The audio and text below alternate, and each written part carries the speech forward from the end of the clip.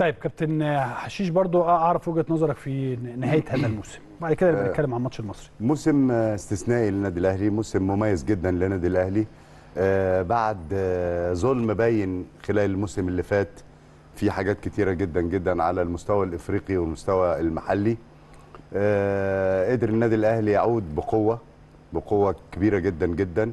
آه في كل حاجة. يعني زي ما الكابتن ماهر قال آه بداية من اختيار جهاز فني على أعلى مستوى يقود الموسم ده. آه لعيبة اختيارات آه لعيبة تدعيمات آه كتيرة للنادي الأهلي.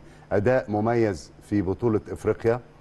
بعد التعثر البسيط في آه دوري المجموعات في إفريقيا قدر النادي الأهلي ينطلق. وكانت من هنا هي الشرارة أو ال ال ال البداية القوية للنادي الأهلي كنتائج وكأداء. حقق فيها النادي الأهلي خمس آه بطولات. آه قدر في البطولة المحلية 32 مباراة بلا هزيمة. أنا ما اعتبرش المباراة الأخيرانية دي هزيمة لأن أنت بتتكلم على المباريات اللي هي في البطولة. المباريات اللي خلاص بعد ما البطولة اتحسمت دي بتبقى تحصيل حاصل. يعني كان ممكن النادي الأهلي يلعب بالناشئين بالصف الثاني بالصف الثالث. ما كانش فارق. وأنا يعني بتكلم مع الناس اللي كانت زعلانة إن النادي الأهلي خسر المباراة اللي فاتت بتاع بيراميدز. أنا كنت متوقع هذا لأن ده وضع طبيعي. بطولة انتهت. آه ناس آه خلصت الموسم كله ببطولات كثيره جدا جدا.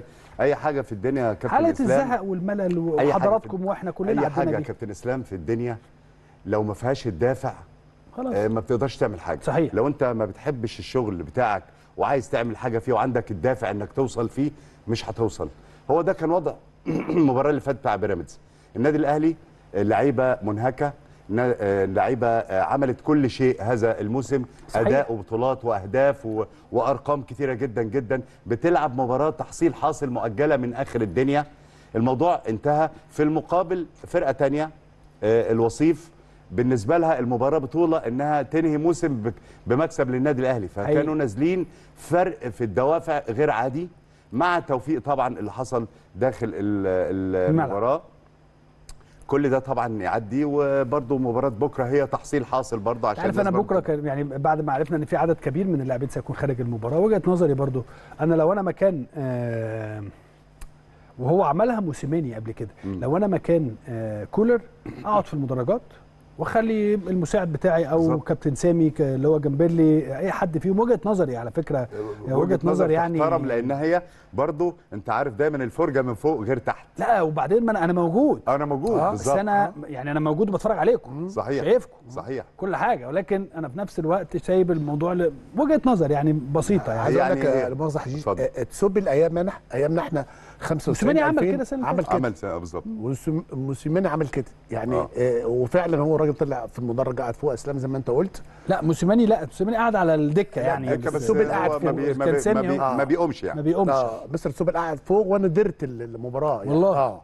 فبرضك من ضمن الأفكار الأجانب بيفكروا فيها بشكل. كبير يعني. آه. كمان ريحة اللعيبة زي ما انت قلت يعني. اللعيبة إحنا بالنادي بقى لنا يمكن خمس مباريات يا كابتن إسلام حشيش إن إحنا آه، آه، فكرة آه، كانت آه، راحة اللعيبة اللي فرقت معانا كنا نتمنى خلال الخمس. مباريات اللي فاتوا دول يبقى كلنا كنا بن- يعني. بننظر لهذا الموضوع يا كابتن حشيش ولكن في النهاية إحنا وثقنا في هذا الرجل كجمهور بقى طبعاً. مش كمحللين. وفنيين إحنا وثقنا في هذا الرجل الراجل ده جاب لنا خمسة من خمسة وبالتالي هو له مطلق الحرية في زلنا اختيار ما فيه. طبعاً. و- ولا زلنا طبعا ولا زلنا. بنثق فيه. واحد جايب لك خمسة من خمسة ولو تفتكر يا كابتن إسلام ال- الحلقة الأخيرة اللي قبل ماتش المقاولين أيوة. لما كنت بتسألني سؤال بتقول لي أه تحب أو تفتكر إن هو يلعب بالأساسيين عشان يحقق أرقام بعدم الهزيمة ولا يشوف صحيح. ناس جداد قلت لك لا المنصر لازم يشوف ناس جديدة لأن لما يشوف ناس جديدة آه. الناس اللي هتقعد والناس اللي هتمشي والناس اللي هتطلع أعارة والكلام ده أهم من إنك تحقق أنا آه، مع حضرتك على فكرة